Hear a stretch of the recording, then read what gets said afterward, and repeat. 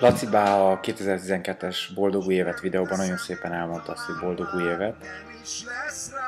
Úgyhogy lehet nem lesz rá alkalom, így most én is elmondom, csak így egyszerűen, hogy boldog új évet.